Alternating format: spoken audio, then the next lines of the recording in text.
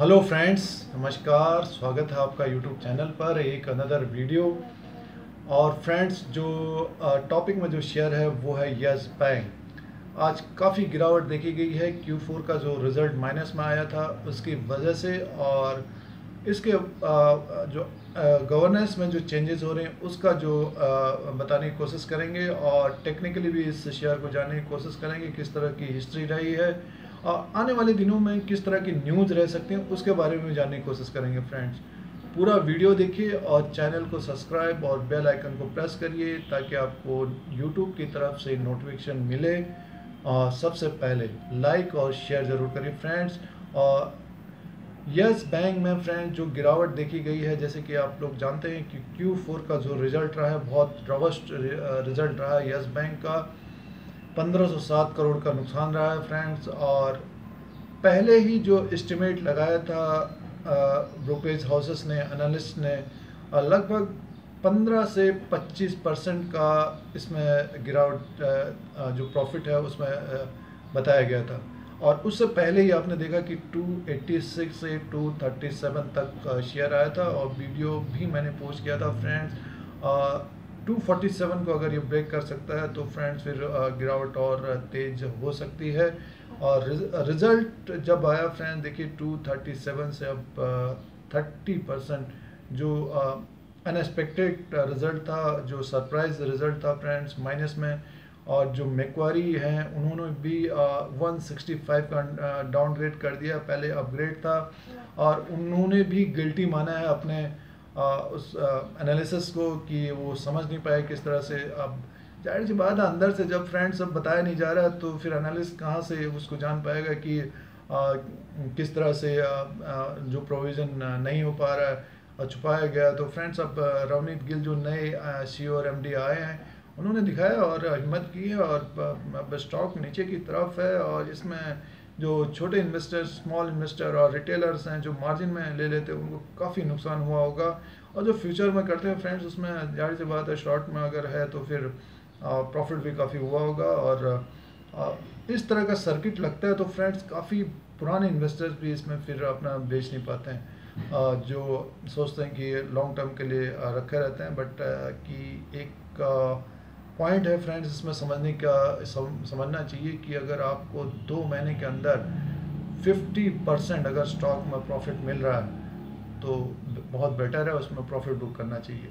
और जो बड़े जो खिलाड़ी हैं इस शेयर मार्केट के वो 20 से 25 परसेंट तीस परसेंट क्वार्टरली अगर उनको मिलता है तो वो शेयर से दूर हो जाते हैं और अपना प्रॉफिट बुक कर लेते हैं। फ्रेंड फिर शेयर कहीं कहीं भी जाए एक ट्रेडिंग जो बेस रहता है इस तरह का रहता है। जो नए लोग हैं उनको इस तरह का समझना चाहिए। और अगर आप 200 शेयर ले रहे हैं तो 2000 और 2 लाख शेयर भी लेने वाले लोग पड़े हुए हैं इस मार्केट में।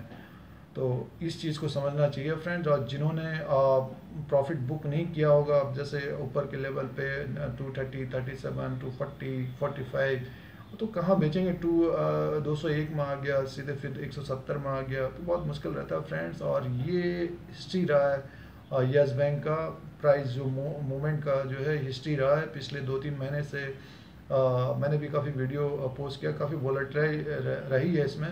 और बहुत लोगों का ये फैंसी शेयर रहा है क्योंकि ये तेज़ी से बढ़ता भी था और गिरावट भी बहुत तेज़ी से आता था फ्रेंड्स उसमें लोगों ने पैसा भी बनाया बट देखिए जिस तरह से गिरा और लोग उसमें अगर फिर से उसमें अगर लिए होंगे शेयर को तो सारा पैसा भी चला जाता है।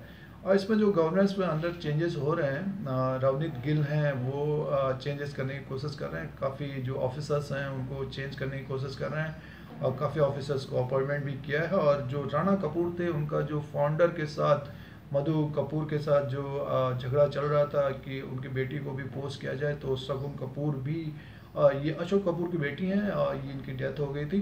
तो इनका भी पोस्टिंग करने की कोशिश है यस बैंक में फ्रेंड्स तो चेंजेस आ रहे हैं और रवनीत गिल में अब कहा है कि जो एसएमई सेक्टर है उसको भी लोन देंगे, उसको भी जोड़ने की कोशिश करेंगे और जो रिटेल है रिटेल जो है उनको भी जोड़ने की कोशिश करेंगे। मेनली जो यस बैंक का जो फाउंडेशन किया गया था कॉरपोरेट लोन के लिए, क्योंकि इसमें आप कॉरपोरेट को पकड़िए और लोन दे दीजिए, आपको इंटरेस्ट मिल रहा है। और बैंक अच्छा चल रहा है तो इस तरह का था। अब डिफ़ॉल्ट पे भी वहाँ आना स्टार्ट हो गया जेट एयरवेज़ का आई का। अब आने वाले दिनों में देखना पड़ेगा क्या है।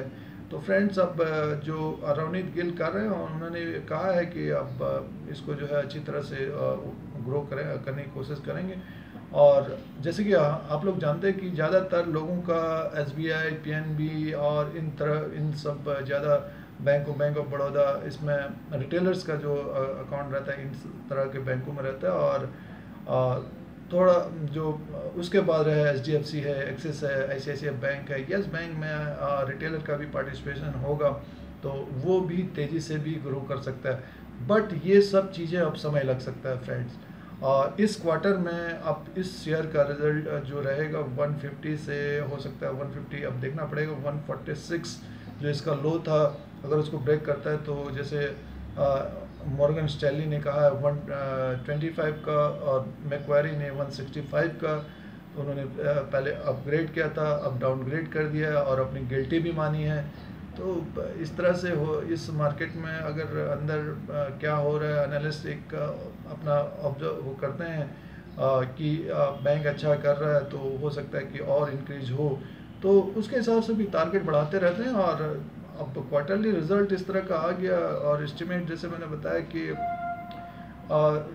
फिफ्टीन से ट्वेंटी फाइव परसेंट के बीच का था और रिज़ल्ट आया माइनस में तो फ्रेंड्स स्टॉक को तो गिरना था ही, लेकिन इस तरह, बुरी तरह से गिरावट और बेचने को नहीं मिला लोगों को तो उसमें बड़ी दिक्कत होती है। स्मॉल इन्वेस्टर का पैसा बड़ा मुश्किल से हार्ड बनी रहता है और शेयर मार्केट में बड़ी मुश्किल से आने की कोशिश करते हैं और स्टॉक जब गिरता है तो फ्रेंड सारा मूलधन भी और प्रॉफिट भी सारा कुछ ले जाता है। फ़िलहाल अब जो जिनको मौका है, वो अपना 50 परसेंट यहाँ पर ले सकते हैं और समय लग सकता है और प्रॉफिट भी बुक करना चाहिए। यस बैंक काफ़ी वॉलेटाइल शेयर रहा है।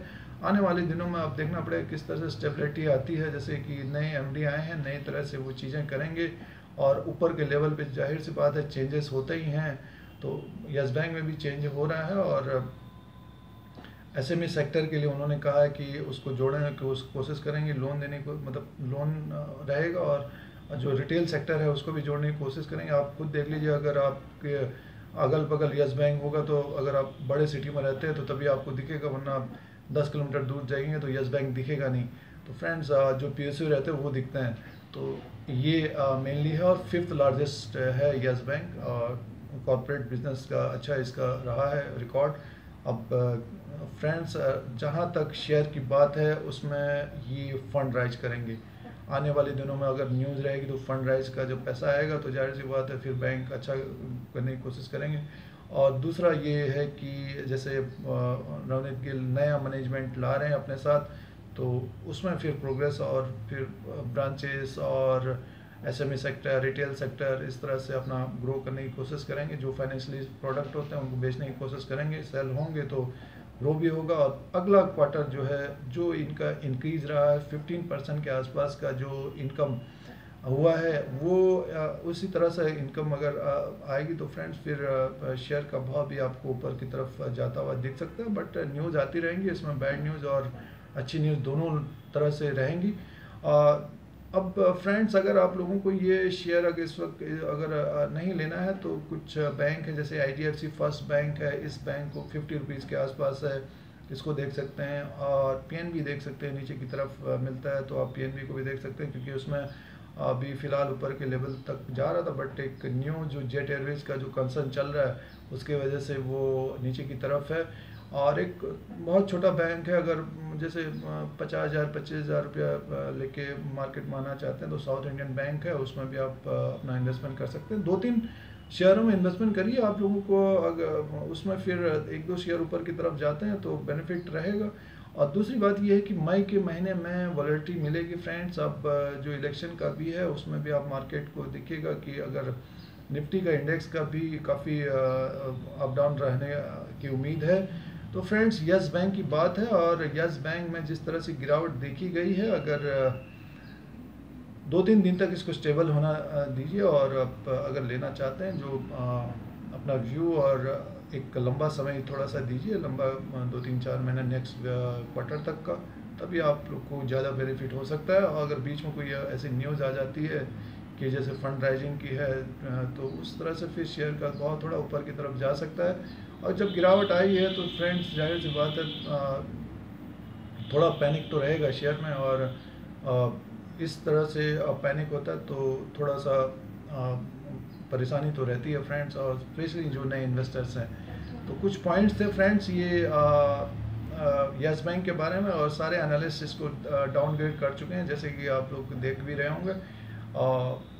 तो फ्रेंड्स अगर आप शेयर को लेना चाहते हैं तो 50 50 परसेंट के हिसाब से लीजिए। ये व्यू रहेगा और जैसे कि दो तीन बैंक और भी बताया उसमें भी आप कर सकते हैं। फ्रेंड्स इसी तरह से आप लोगों को अपडेट करने की कोशिश की जाती। यस बैंक का जो अपडेट था, उसका कुछ पॉइंट उसको समझने की एनालिसिस करके कुछ पॉइंट्स को समझने की कोशिश थी। इसी तरह से आप लोगों को अपडेट करने का इस यूट्यूब चैनल का व्यू है। अपडेट किया जाता है और अगर आप इस इंडिया का जो शेयर मार्केट है उसमें निवेश, निवेशित हैं तो फ्रेंड्स इस चैनल को सब्सक्राइब और बेल आइकन को प्रेस करिए, लाइक करिए, शेयर करिए। आज के लिए इतना ही। धन्यवाद।